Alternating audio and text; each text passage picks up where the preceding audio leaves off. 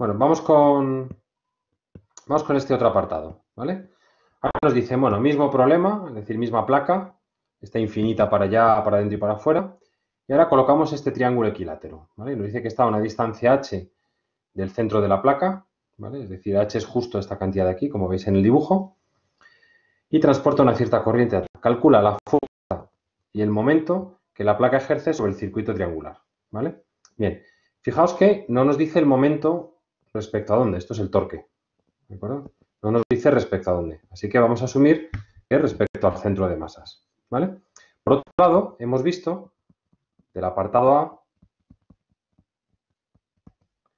que el campo fuera era mu sub 0 JD partido por 2.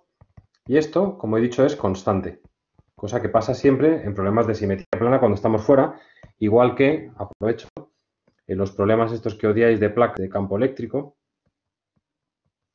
estos que ponemos pilas y cosas así, bueno, pues el campo aquí fuera y el campo aquí fuera siempre es constante. ¿Vale?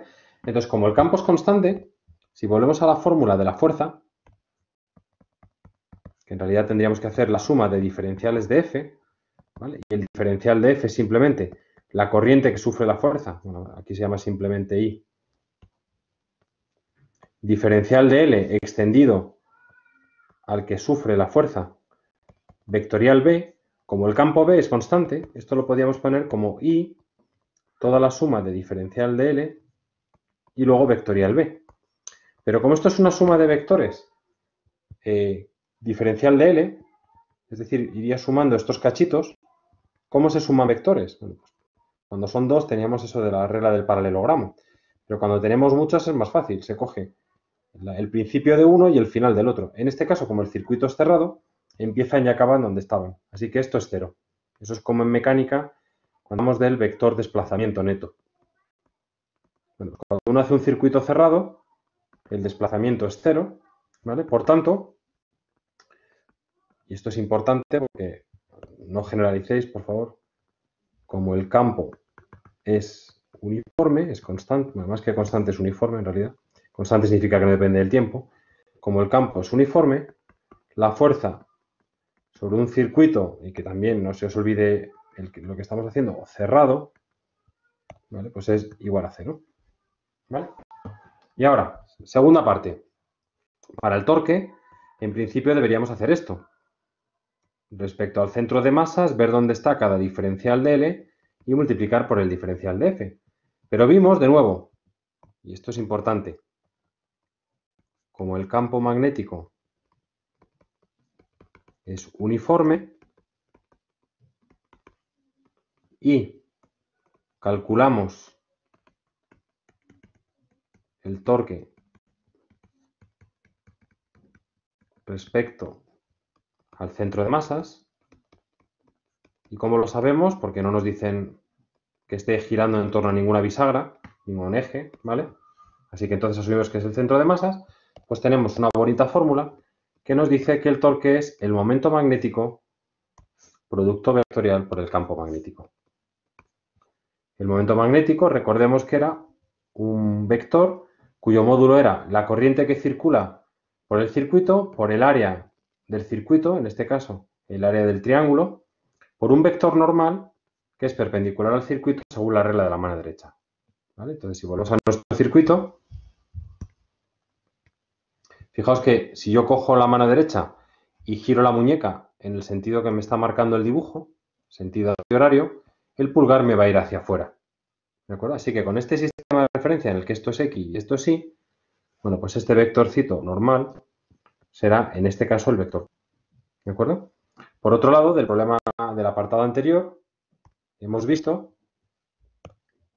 que si esta era nuestra placa, el campo nos salía en esta dirección por arriba y en esta dirección por abajo.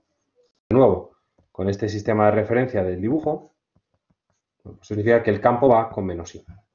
Así que tendremos módulo del, vector y por el área del triángulo que lo dejo para el final. K, producto vectorial, el campo magnético, que vale mu sub 0 j por d medios menos i. K por I me da menos J, con este menos me da un más, Así que esto me queda un sub 0 por j por d por a partido por 2 más j. ¿De acuerdo? Bien. A ver, K por I. No, K por I es y JK y JK. No, K por I es J, así que esto me queda menos J. ¿Vale? Menos J. Vale. ¿Qué significa ese menos J? Bueno, el área, perdón. Tenemos aquí un triángulo equilátero de base A. Pues, entonces, esto es 30 grados, la mitad de eso, por tanto, la altura del triángulo es A por coseno de 30, es decir, A por raíz de 3 partido por 2. Así que el área del triángulo será base por altura partido por 2. Es decir, raíz de 3 a cuadrado partido por 4, que enchufaríamos aquí. Pero bueno, vamos a la física, que me interesa más. Tenemos aquí este menos j. ¿Qué significa un torque que va con menos j? Pues es como coger un eje paralelo al eje j, ¿vale? Ponerle aquí como el palito este del toldo y ahora hacerlo girar en sentido menos j, es decir, este va a ser nuestro torque. ¿Qué significa eso? Que si yo coloco el pulgar hacia abajo, mi mano, si lo pinto bien, este es el pulgar, ¿de acuerdo? La uña está aquí, vale. Y ahora los dedos no los veis, ¿vale? Porque están curvados hacia adentro, ¿vale? Si, hubiese sido hacia arriba, con mis dotes artísticas, pero bueno, os, podéis imaginar, ¿vale? Yo habría pintado los dedos así, ¿no? Como doblados hacia adentro. Este sería el pulgar así, ¿vale? Aquí no veis los dedos porque los dedos están hacia adentro del papel. Eso es lo que significa un torque con menos J. ¿Y eso qué significa? Que estoy retorciendo ese palo, digamos, este circuito, de tal manera que este lado de aquí va a salir fuera del papel y este lado de aquí va a entrar dentro del papel. Y eso tiene sentido. ¿Por qué? Porque esta fórmula se podría interpretar como el mecanismo de una brújula. De hecho, los móviles, por ejemplo, eh, tienen brújulas únicas, no tienen brújulas eh, magnéticas. Algunos sí, pero otros no. Y lo que hacen es tener un pequeño circuito. Entonces la MU juega el papel, digamos, de lo que las brújulas es eso que tiene una cosita así roja y tal, le pone norte-sur. Entonces, el momento magnético nos ha salido con menos K. Eso significa que la aguja de la brújula va hacia afuera y el campo magnético va hacia allá. ¿vale? Esto es como si fuese el campo de la Tierra. ¿Qué es lo que hace la aguja de una brújula en un campo magnético? Bueno, pues que la brújula acabe apuntando hacia allá. Si dejásemos rotar a esto, el torque sería cero cuando el triángulo esté de canto y tuviésemos aquí el momento magnético. De tal manera que el campo magnético externo y el momento magnético de la brújula irán en el mismo sentido. Si hiciésemos la dinámica, en realidad tendríamos como un oscilador armónico, ¿vale? Porque al llegar aquí se estaría, tendría una velocidad angular, entonces empezaría a pasarse de largo, etcétera, pero bueno. Y si le diésemos un golpe inicial y consiguiese, vamos a ver esto ahora desde arriba, esto es culturilla, pero bueno, es interesante. Esta es la placa vista desde arriba, ¿vale? Y este es nuestro, nuestro triángulo visto desde arriba. Como digo, si le diésemos una colleja, esto giraría así. Si se pasase de largo, el torque lo que haría es realimentarlo. Y este es el fundamento del motor, el motor monopolar que se llama.